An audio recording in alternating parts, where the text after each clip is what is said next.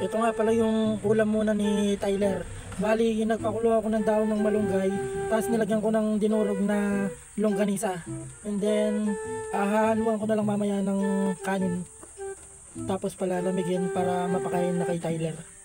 Doon sa aking uh, Dachshund. Ayun na, bali nilagyan ko na nga pala ng kanin. Ah, bali yung pagkain muna niya ngayon, ayan yung kanin na hinaluan ko ng dinurog na longganisa. Walong pirasong longganisa, tapos nilagyan ko ng daon ng malunggay. Maganda rin kasi yan eh, yung malunggay, antibiotic din yan. Ayun na, naghihintay na lang si Taylor. Oh. Mukhang gutom yarn. Ayan. Gutom yarn. Pinapalamig ko lang muna bago ko ibigay sa kanya. Kasi hindi rin niya makakain to eh, mainit pa eh. Bago luto pa kasi. Ayan, big lang siya oh. Taylor! So yun nga para mapabilis ah, lumamig yung itong pagkain ni Taylor, tinutok ko muna dito siya sa may electric fan para mabilis lumamig. Nang sa ganun makakain na rin siya. Gu- nakita ko kasi gutom na rin siya eh. Hindi pa siya kumain kaninang umaga, hindi muna siya pinakain. So ito palalamigin ko lang and then pag lumamig na ibibigay ko na kay Taylor para makain na niya. Let's go! At ito nga guys, ah, bali malamig na nga pala, papakain na natin tong si Tyler. Lusag, lusag, Taylor. Okay. Ayan, kung makikita nyo guys, oh, gustong gusto talaga ni Taylor. Oh, nagustuhan niya yung pagkain niya ngayon. Masustansya naman yan eh. Kasi hinaluan ko ng ano, daw ng malunggay. Nasa ganun masustansya yung kakainin niya. Yan. Hindi ko naman siya pinapakain ng mga tira-tira lang eh. Talagang pinagluluto ko pa talaga tong si Taylor.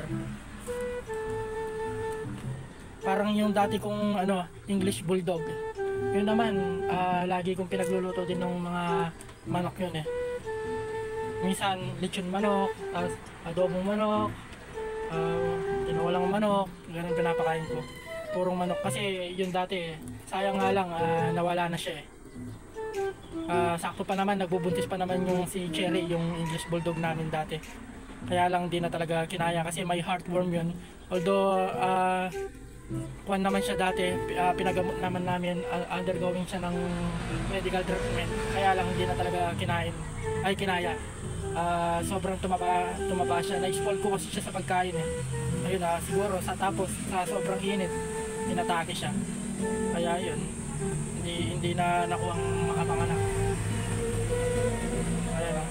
talagang ma- ganyan karami yung kinakain ni Taylor napakarami ng kinakain niya kahit na small breed lang siya. Yan, talagang binubusog ko talaga siya. Pero hindi naman madalas. Ah, sa isang araw kasi talagang isa dalawang beses ko lang siya pinapakain muna ngayon. Baka kasi lalo na mainit yung panahon ngayon. Kaya baka mamaya ma-heat stroke to o ma-high blood pag sumobra naman sa taba. Um, yan, tama lang sa kanya yung pagkain na yan. Mauubos naman yan eh. So hanggang dito na lang guys. Paalam. Salamat sa panonood.